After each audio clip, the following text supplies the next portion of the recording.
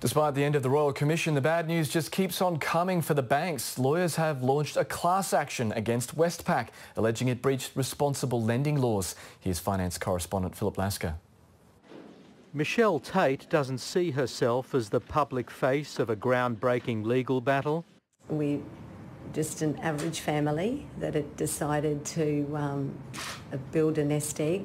Building that nest egg saw a single income family of five borrow $1.8 million through five loans to buy four properties. It was all too easy and eventually the financial burden became too much to bear. It's just devastating. We've lost everything. We've sold our family home.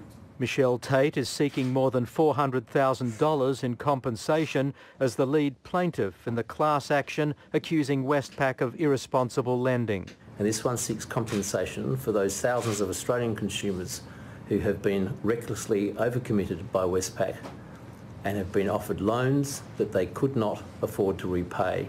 The Royal Commission has opened the door to similar action against other banks. We are certainly going to see more enforcement action by our regulator, uh, the Australian Securities and Investments Commission, but I also predict more private litigation. In a statement, Westpac said it takes its responsible lending obligations very seriously and will be defending the claims against it. A loss would be costly for the bank. If we end up with thousands of customers, then it's tens of millions, yes. The courts haven't yet ruled on what banks need to do to comply with the responsible lending laws, but it may not take long to find out.